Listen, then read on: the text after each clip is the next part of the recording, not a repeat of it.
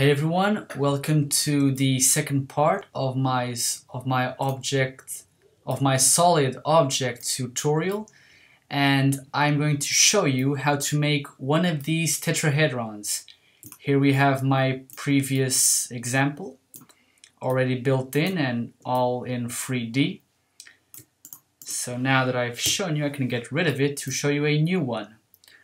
My layers are already set up here, just like in my previous video, and today here we have the tetrahedron. So let's get this started. Uh, first off, you need to make a polygon, set up the number of sides you want on it, in this case here it'll be free, and also check in here the edge by just typing in an E, like that. Now we need to specify the uh, first vertex of our polygon and the second one as well. So the coordinates for the first vertex will be 0. As you can see, we can now scale our triangle, the very base of our tetrahedron. And now we just place in 1, comma 0 to identify the second vertex. And then automatically the entire triangle will be generated. Now let's give it a bit more mass, so, or at least get this um, completely covered.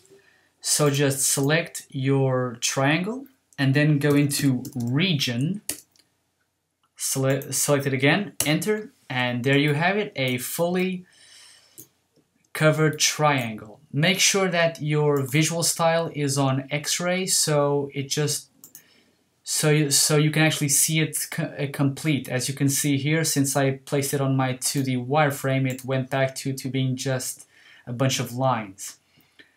Now, how to make the rest of the faces. This part is quite simple. We've seen this in the previous tutorial.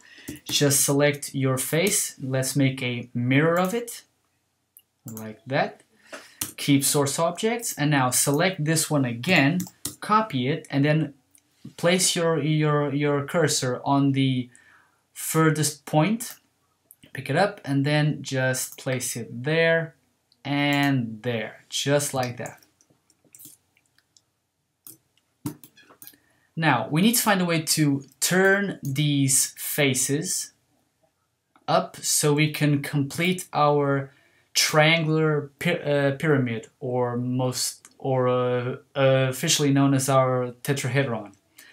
So how do we do this?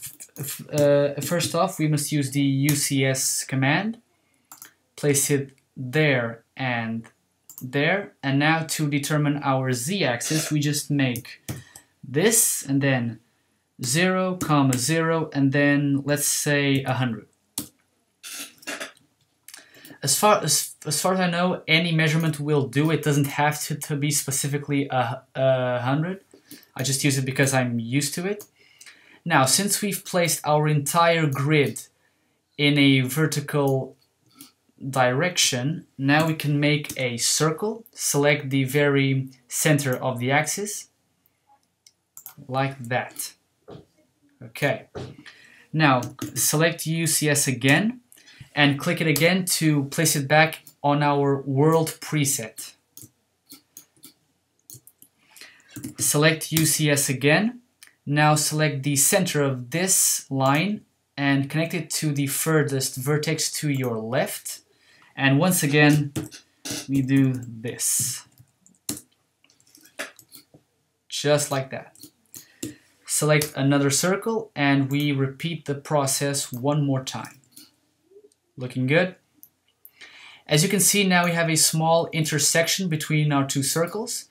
So I'm going to use this this face here and I'm going to align it with that very intersection.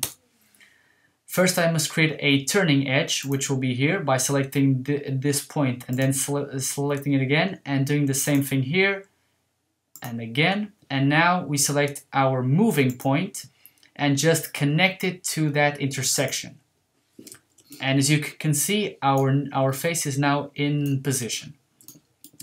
Now, I, I could just uh, do the same thing for the other faces, but I'm going to show you a special tool which will make this, trans this transformation a lot more interesting. So I'm going to do a polar array of this face so it, so it will appear on the other two sides. First off, let's click UCS again and select the world preset down here again so we can go back to our standard grid. Select Array Classic, place it on Polar Array, uh, make sure that your object is selected. You can do you can do it like this, and make sure that your rotating point is right here. Check again. Usually I turn this off because, well, I guess it, it just works this way.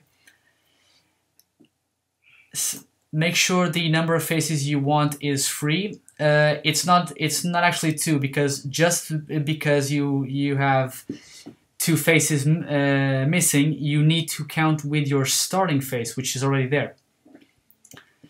Okay so select free everything looks good and okay. And as you can see we have our finished tetrahedron or triangular pyramid whatever you want to call it well and this is part two of my solid objects tutorial